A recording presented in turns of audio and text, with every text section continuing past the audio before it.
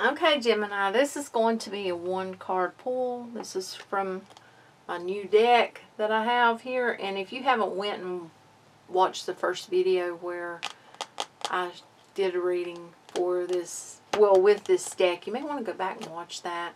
It's for any sign, so yeah. But we want to take one card for you. For Gemini. Oh my goodness, they threw it out. Um, hmm, I'm not sure because I wanted to. Yeah, I'm not taking it. Um, I don't feel like I'm. I should because I feel like I'm supposed to cut when I'm ready, and that's what I'm going to do. What I'm going to do. Oh yeah. So that was not the card. Okay, Gemini. Let's see what we got for you. Ooh. Number five. So, you know, fives, I can't help but say fives are so much about change. And, um, you know, change can be overwhelming. It can be um, different. It can take some getting used to. But this is, it's not got a bad feeling to it. You know, um, this is number five, Ageless Beauty. Look at that. It says, with grace, dignity, and strength, I grow into the unique texture of my feminine soul. Okay, let's find it in the book. Get the book here.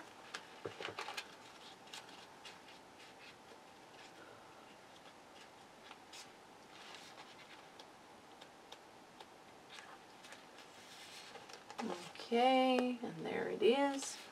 Ageless Beauty, number five. As each year passes, I am more and more inspired to live with strength, beauty, and grace. I understand that embracing my wholeness, all my gifts, mysteries, mistakes, and shortcomings is vital to my aging process. Therefore, I live my own life and no one else's. With every passing decade, I grow into the depth, power, and unique texture of my feminine soul.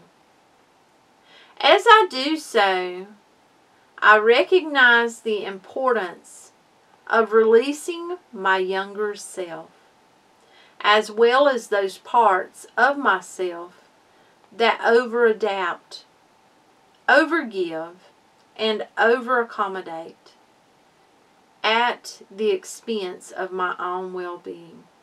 You know, I have to say, and it, you know, some of you may be like, well, wait a minute, I'm a male. Okay, well, you know, we all have feminine and masculine energy in us. And sometimes, um, even if, you know, we are a male or a female, we may need to embrace the masculine or the feminine energy. And this is a feeling for me like honestly growing up some as well. You know, it's like um, where it says recognize the importance of releasing my younger self. I feel like that's about growing up and really being able to see things for what they truly are. You know, um, it doesn't mean letting go of, you know, those that younger part of you that maybe you want to embrace. No, that's not what I mean. This has got a good feeling to it. You know, it really does. And, you know, sometimes we can, by not, you know, growing up, we can allow others to just kind of treat us however. Um, it feels like you're changing. And it's a beautiful thing. It's, it's yeah. It's ageless. It's, it's beautiful. Um, the card affirmation for this card is, Okay, you ready? With grace, dignity, and strength, I grow into the unique texture of my feminine soul. So it's actually, I'm just realizing it, but they're actually on the card. So you can actually write those down, write that down, and speak it. You know, it's an affirmation. But this is beautiful. This is growth as a as a person, you know, and being able to embrace who you truly are and um, it's awesome. It's got a good feeling to it. You know, if you like the readings that I do, give them a thumbs up. Um, please do subscribe or follow according to where you're watching from. And I uh, appreciate each and every one of you. Love the comments. So, till next time. Bye.